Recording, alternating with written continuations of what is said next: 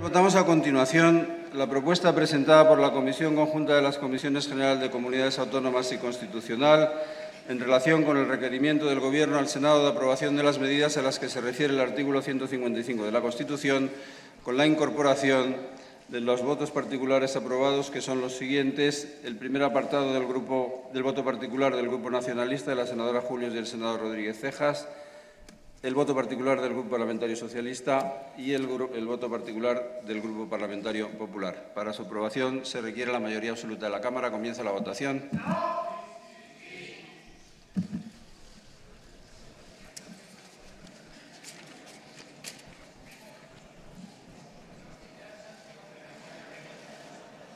Señorías, el resultado de la votación es presentes 262, votos emitidos 262, sí 214, no 47, abstenciones 1.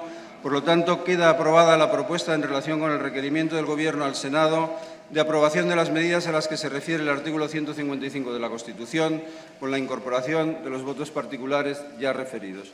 De dicho acuerdo se dará traslado al Gobierno, a la Generalitat de Cataluña y al Congreso de los Diputados.